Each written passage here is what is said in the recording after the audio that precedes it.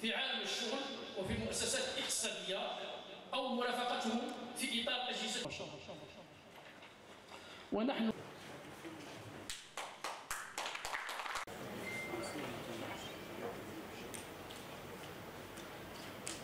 تحتفل ولاية ورقلة بالخصوص مديرية التكوين والتعليم المهنيين بهذا الحفل الاختتامي الخاص بتكريم المتفوقين بمختلف المستويات التأهيل من مستوى التأهيل الأول يعني آه، شهادة آه، متخصصة في التكوين المهني إلى أهلية تقني سامي. في دورة فيفري كان المتخرجين 2000 بقرابة 2400 متخرج.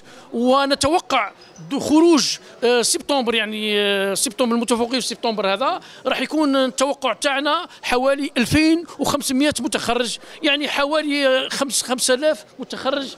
في هذه السنة التكوينية.